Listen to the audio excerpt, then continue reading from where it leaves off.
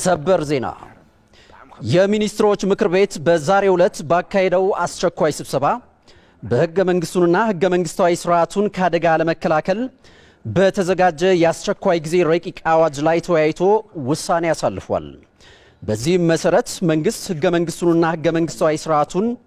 ከአደጋ የመከላከልና የመጠበቅ የሀገርን ሰላምና ደህንነት የማስከበርና የሕዝቦችን አንድነትና እኩልነት እውን በማድረግ የዜጎችን በነፃነት የመዘዋወር በመረጡት ቦታ የመኖርና ሀብት የማፍራት ሕገ መንግሥታዊ መብታቸውን የመጠበቅ ኃላፊነት ያለበት መሆኑን በመገንዘብ ከቅርብ ጊዜ ወዲህ በሀገራችን አንዳንድ አካባቢዎች ሕገ መንግሥቱንና ሕገ መንግሥታዊ ስርዓቱን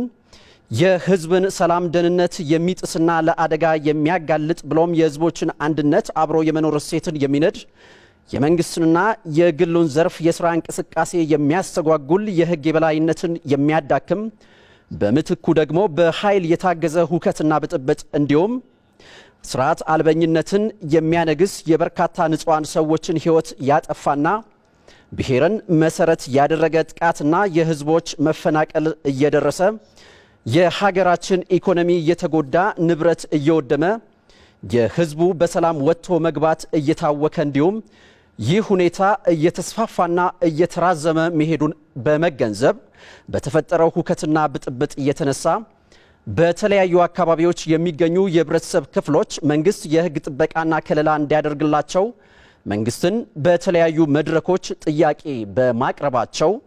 በህገ መንግስቱና በህገ መንግስታዊ ስርዓቱ ላይ የተጋረጠውን ይህንን አደጋ በመደበኛ የህግ ማስከበር ስርዓት ለመከላከልና ለመቆጣጠር ከማይቻልበት ደረጃ ላይ መድረሱንና ህገ መንግስታዊ ስርዓቱን ለመጠበቅ የሚያስችል የአስቸኳይ ጊዜ አዋጅ ማውጣት አስፈላጊ መሆኑ ታምኖበታል። ስለሆነም በኢፌዴሪ ህገ መንግስት አንቀጽ 93 ቁጥር 1 ሀ መሰረት የአስቸኳይ ጊዜ አዋጅ ታውጇል። አዋጁ በሚኒስትሮች ምክር ቤት ከታወጀበት ከዛሬ የካቲት 9 ቀን 2010 ዓ.ም ጀምሮ የጸና ይሆናል።